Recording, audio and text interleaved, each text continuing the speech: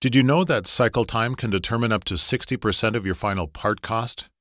When designing your part, it is important to know the difference between hot and cold chamber die casting to determine which process is the best fit.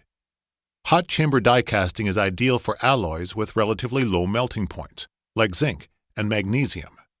These metals are also steel friendly, so we can inject molten metal into the die directly from the melting pot. We simply submerge the injection system into molten metal and then inject it into the die. This allows us to design a more efficient runner system that helps to decrease cycle time and provide longer die life. All this makes hot chamber die casting the faster of the two processes, creating 4 to 5 cycles per minute from our conventional machines and upwards of 45 cycles per minute from our proprietary hot chamber multi-slide machines.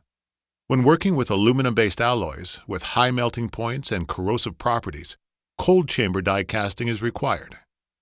Unlike the injection mechanism of the hot chamber process, with cold chamber, we have to ladle the molten metal from the melting pot into the shot sleeve. From there, a hydraulic plunger forces the metal into the die cavity. This limits the design capabilities of the runner system, making it less efficient. At most, it provides 2 to 3 cycles per minute. In manufacturing, speed is key, and since the cycle time largely determines how cost-effective your final part is going to be, it matters which die casting process you will need to use, which starts with choosing the right alloy for the project.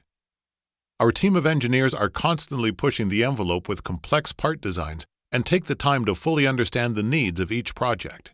We successfully launch over a thousand projects a year. Contact our team today to get started with your next project.